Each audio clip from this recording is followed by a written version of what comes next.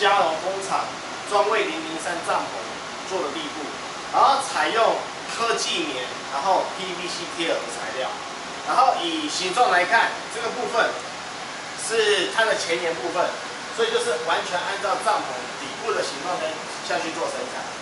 然后包含帐篷的尾端、三角的部分都是量身定做的。